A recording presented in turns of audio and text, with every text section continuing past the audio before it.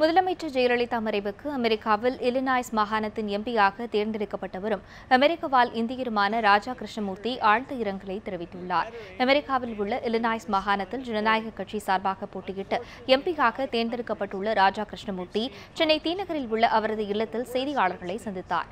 அப்போது சாதாரண நிலையிலிருந்து விடாமுயற்சி காரணமாக முதலமைச்சர் ஆனவர் ஜெயலலிதா என்றும் மக்களால் அதிகம் விரும்பப்பட்டவர் எனவும் ஜெயலலிதாவுக்கு அவர் புகழாரம் சூட்டினார்.